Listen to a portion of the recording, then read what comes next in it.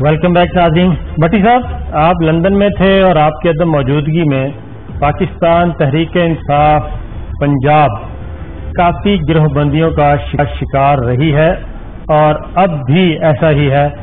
Governor Punjab Chaudhry سرور صاحب نے اشائیہ دیا، اس میں کچھ لوگ آئے، کچھ نہیں آئے۔ جہانگیر ترین صاحب کا گروپ موجود ہے، بزدار صاحب کا گروپ موجود ہے۔ یہ سب کیا ہو رہا ہے اور یہ گروپ جو ہے پی ٹی آئی کے لیے کیا پیغام لے کر جائیں گے اور اس کے اثرات پنجاب حکومت پہ کیا پڑیں گے؟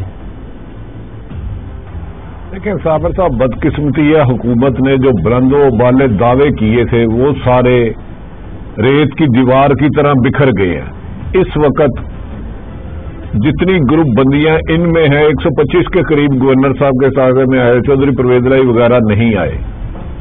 آپس میں ایک دوسرے کے دشمن ہیں۔ بیڈ گورنر پاکستان کی ہسٹری میں سب سے زیادہ بہتر طریقے سے یہ لا رہے ہیں اس وقت۔ آپ یہاں تو چھوڑ دیں، یہ جو ہو رہا ہے، پتہ نہیں کیا کرنا ہے، کیونکہ پرائم منسٹر صاحب کہتے نا، ماہی ماہی مینو چلا پوا دے مجھے لگتا ہے عمران خان صاحب کی ایک ہی خواہش تھی، ماہی ماہی مینو وزیر اعظم بنا دے کھچ میری فوٹو سے مینو پرائم منسٹر اس بٹا دے۔ ایک دو ایک ان کا موجودہ فیڈرل منسٹر اور ایک سابق فیڈرل منسٹر جو ایم این اے آپ یہی ہے۔ کچھ دن پہلے مسلم لیگ نور کی اعلیٰ قیادت سے ملے ہیں، یہ ان کی کارکردگی ہے۔ اور آپ بتائیں، ایسے حالات میں پھر پاک فوج اس ملک کی سرزمین اور عوام کا خیال نہ رکھے تو کون رکھے؟ نہیں، پنجاب میں بٹی صاحب، کون سا گروپ زیادہ حاوی ہے؟ چودھری سرور صاحب ہیں، بزدار صاحب ہیں، جہانگیر ترین صاحب ہیں۔ دیکھیں یہ اس سے زیادہ گروپ ہے چار پانچ۔ آج کل جہانگیر ترین صاحب کو پنجاب میں اہم ذمہ داری دی گئی ہے۔ چودھری سرور کے بارے میں اور ایون کے وزیر اعلیٰ پنجاب عثمان گلزار صاحب کو بنا تو دیا گیا اسلام آباد سے، ایک انفارمر ان کے پاس بھی بھیج دیا گیا جو ان کی مخبریاں کر رہا ہے۔ تو میرا خیال ہے عمران خان کے ویژن سے اس کو نقصان جا رہا ہے اور عمران خان صاحب کو چاہیے اس میں انوالو ہو کے اس گروپ بندی بند کر کے لوگوں کو ان کے حقوق دینے کے لیے خدمت کریں۔ ورنہ یہ مجھے لگتا ہے پانچ سال تو بہت دور کی بات ہے، سال تک بھی چلے جائیں تو ان کی بہادری ہوگی۔ چودھری سرور صاحب کی گورنرشپ بچ گئی ہے یا ابھی بھی خطرے میں ہے؟ کیونکہ کافی خطرے میں تھی اور وہ کوشش بھی کر رہے ہیں۔ انہوں نے سروس فاؤنڈیشن سے ریزائن بھی کر دیا، علیحدہ بھی ہو گئے ہیں۔ تو کیا ابھی تک پارٹی کے اندر کوئی ہے جان اس میں چودھری سرور صاحب کے بارے میں؟